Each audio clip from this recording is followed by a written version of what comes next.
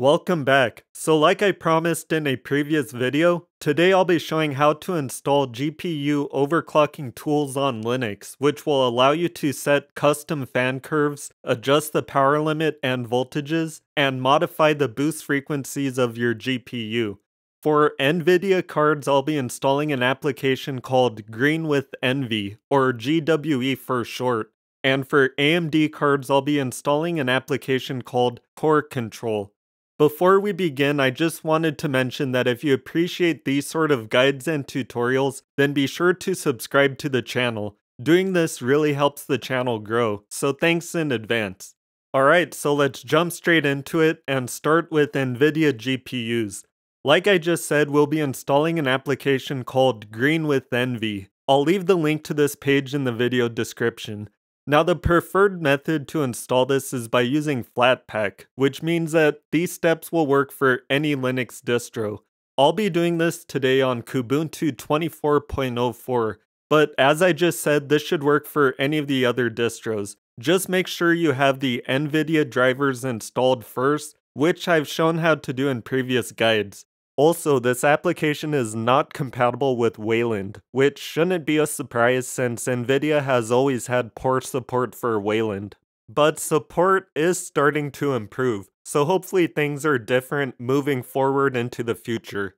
Now if we scroll down, you'll see there are distro-specific packages available for Arch and Fedora. So if you prefer to avoid Flatpak and you use one of these distros, then you might want to do that instead. But it turns out the developer of this app actually recommends using the Flatpak version, so just keep that in mind. And of course, you could always build and install this from source, but for most people it's easier just to install using Flatpak. So let's go ahead and do that now. If Flatpak isn't already installed on your system, then you'll need to install it first. Click this link and then click on the logo for your appropriate distro. I actually clicked on Ubuntu instead of Kubuntu here, but the steps are mostly the same. The only difference is if you want to install the plugin that will integrate Flatpak into your desktop environment. But personally, I won't be installing that. So all you need to do is copy and paste this command to install Flatpak. If you're running an older version of Ubuntu, then you'll need to add the repo first before installing, which can be done with these three commands but for most people this won't be necessary. Now let's scroll down and you'll see the step to install that plugin I just talked about. You'll notice this command has GNOME in it, which is meant for vanilla Ubuntu. If you clicked on the Kubuntu logo in the previous page, then you'll notice this step has Plasma in it instead. But like I said, this isn't required, so I'm just gonna skip this. Next, you'll want to add the FlatHub repo, so go ahead and copy and paste this command. After that's done, restart your computer before continuing. Now we're back and we're ready to install the application, so let's copy and paste this box first. Now copy and paste these two commands to install it. I ended up removing the comment here, but I don't think this was necessary. You can leave it how it is and it should be fine either way. Now press enter to confirm and it will list the packages that will be installed. Then push enter again to confirm. Now it's installed, so let's go ahead and run it. Go to your start menu and type green with envy and click on it.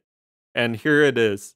You'll notice there's a bunch of information about your GPU, a menu to change the fan curve, and some other things.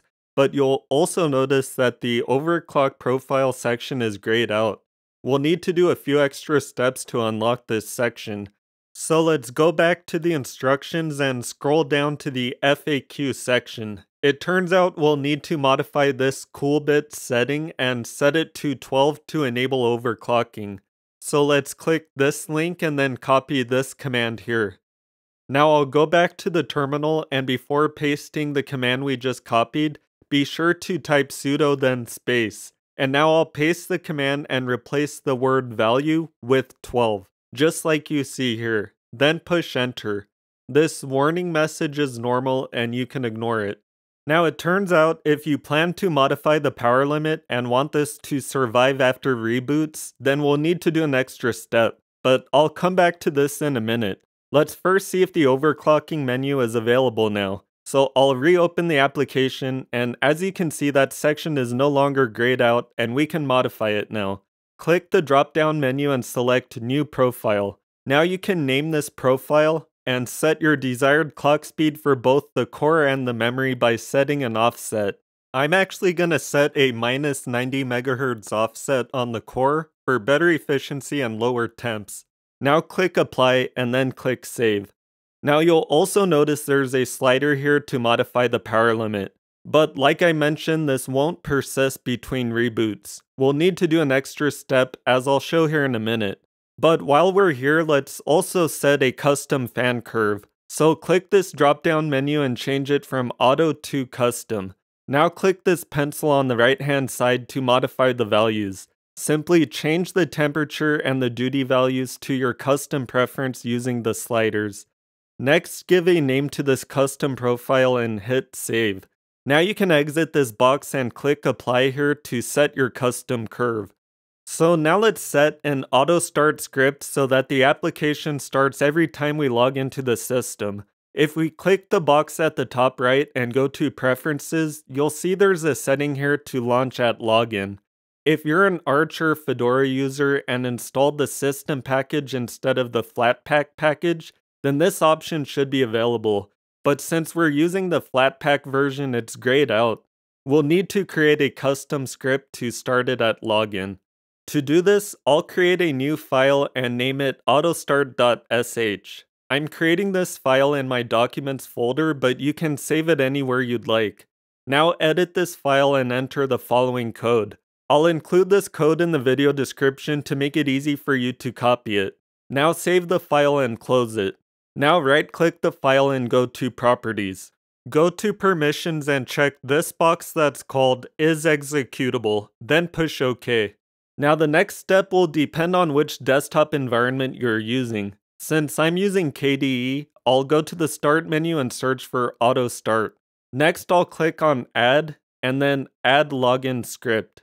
Now I'll select my autostart.sh script that I just created and now restart the system. You can do the same thing on other desktop environments as well, but the process might look slightly different. Now when you log back in, the application should automatically start down in the system tray. Click on it and you'll notice that our custom overclock profile and fan profile have automatically been applied, but the power limit has been reset to its default. If you want the power limit to persist between reboots, we'll need to do one more thing. So let's go back to the instructions. We'll need to create two new files. So let's first copy this location here. Now go to the terminal and enter sudo nano and paste this location. Push enter and enter your password. Next, copy this box here and paste it into the terminal window. Now press Ctrl X, then type Y and enter to save the file. Now we'll need to do the same thing for another file. So let's copy this location here go back to the terminal and type sudo nano and paste this location. Now copy and paste this box, but before we save it, we'll need to manually enter our desired power limit. Use the arrow keys to navigate to the three X's and use backspace to remove them, and enter your custom power limit. The default for my card is 250 watts, so I'm going to do a slight reduction here down to 235. Now enter Control X and type Y to confirm that you want to save the file before exiting. Now all we need to do is copy and paste this last command into the terminal and we're good to go. Now your custom power limit will be automatically applied every time you log in. So I'll go ahead and reboot my system and as you can see here my 235 watt power limit has automatically been applied. So now let's move on to AMD GPUs. We'll be using an application called Core Control, and we'll be following the instructions here on its GitLab page. I left the link to it in the video description. But before we begin, it's important to point out that I'm using Kubuntu 22.04 for this section, not 24.04 like I did for NVIDIA. This is because not all features are currently working yet for 24.04, the application itself will work, but we need to do a few extra steps to unlock all the features and it looks like these steps are currently broken on 24.04. It might be related to the kernel that's currently being used in 24.04, so I'm sure this bug will be fixed sooner or later, but as of right now, I don't suggest doing this on 24.04. So like I said, I'll be doing this section on Kubuntu 22.04, and older versions should work as well. So let's begin. Now, if you're running Arch or Fedora, then Core Control can be easily installed with one of these commands. A few other distros are listed here as well, but let's scroll down to the Ubuntu section. It turns out the repo isn't available by default on 22.04, so we'll need to manually add it. The first thing we need to do is create this file and copy and paste this box into it. So let's copy the location here, then type sudo nano and paste the location. Now copy and paste the box into the terminal and press Ctrl X and then Y and enter to save the file. Now let's go to this link here and copy and paste these two commands. Press enter to confirm that you want to add this repo. Now we can copy and paste this command to install the application. Once that's done, let's go ahead and open it up. So I'll go to the start menu and type core control and click on it to open. You'll be asked for your password. Now click global profile and you'll see a bunch of statistics for your GPU. To set a custom fan curve, click on the box next to ventilation and set it to curve. Now you can use your mouse to drag each point of the curve to your desired setting. Now go to performance mode and change it to advanced. This is where you can set a custom power limit, modify the clock frequencies, and apply a voltage offset. But you'll notice the options here are extremely limited in what you can change them to. We'll need to do a few more extra steps to fully unlock these settings. But first let's hit apply in the top right corner and then hit save, since I modified the fan curve settings and I want to save these changes. Every time you make changes, make sure you hit apply and save. So now let's go back to the GitLab page and then click this link here to set up your system. Now for core control to automatically start up when you log into your system, you'll need to copy and paste one of these commands depending on which version. But it turns out neither of these commands worked for me, and I realized that the auto start folder doesn't exist yet, so we'll need to create this folder. To do this, copy only this section of the command like you see here, but of course your username will be different than mine. Now enter mkdir, which stands for make directory, and paste that section of the code like you see here. Now we can run one of the previous commands and it should work. The only difference between these two commands is that one of them has capitalized first letters in core control, while the other command has all lowercase letters. I had to run the line that has all lowercase letters, but if you're running a different distro that has a newer version of this application, then you might need to run the other command instead. The next step will allow you to run the program without needing to enter your password each time. To do this, we'll need to create a new file, but the exact contents of this depends on which version of Polkit your system is running. Copy and paste this command here to find out which version you have.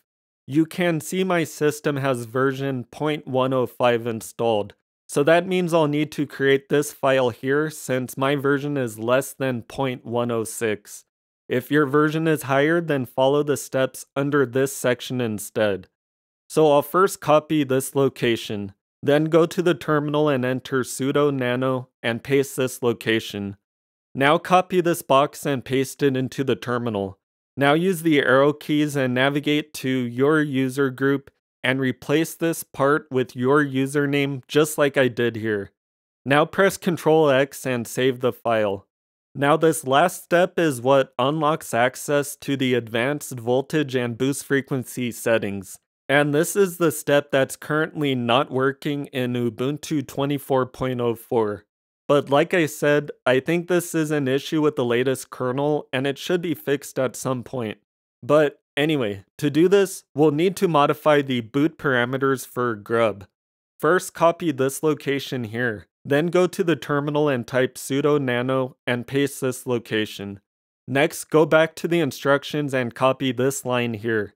Now use the arrow keys and navigate to this section. We don't want to remove anything here, but instead we'll be adding another option right after the existing ones that are already here. Push spacebar to add a space here, and then paste the command we just copied. Make sure it looks like how I have it here, then push Ctrl X and save the file. Now all we need to do is copy and paste this last command here into the terminal, and then reboot your system. But keep in mind that while most distros use Grub, not every distro uses it, so this section might be different depending on the distro you're using. Also, if you followed my previous guide on rEFInd, then you'll need to edit this file instead. And set the boot parameter just like how you see it here. When you log back in, you should see Core Control has automatically started up, and when we navigate to the overclock settings, you should see an additional slider to set a voltage offset. And the other sliders are also now unlocked, allowing you to set them to whatever you want. After making your desired modifications, don't forget to hit apply in the top right corner and then save. Also, if you want to modify general settings of the application, click system at the bottom, then click settings at the top right. Click this checkbox if you want core control to start minimize in the tray so that it doesn't pop up every time you boot up your system. And that's it, you should be good to go now. Well, that wraps up today's guide. If you have any thoughts or questions then feel free to drop a comment down below. And if you found this video to be useful, then be sure to give it a thumbs up and hit the subscribe button if you want to see more helpful guides like this one. But anyway, that's all for today. As always, thanks for watching, and I'll see you in the next one.